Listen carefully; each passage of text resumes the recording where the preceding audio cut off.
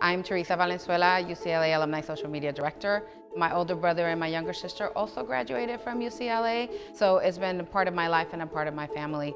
The Picturing UCLA collection really helps us to tell the UCLA story and share images, history, digitally through social media. So we've heard on our channels that alumni just love like our black and white photos, the historical photos, and aerial photo of UCLA. They love seeing what it is that UCLA was and is. And you know, it just takes them back to their years on campus. The positive feedback we receive all the time is, I wish I was there. I want to go back to Kerckhoff. I want to go back to Royce. I want to see my friends again. All that nostalgia just kind of comes right back.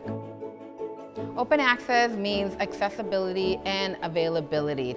It's important for us to preserve UCLA's history and to really showcase it. UCLA has been part of people's lives for over 100 years. And so why not keep going and keep sharing that tradition?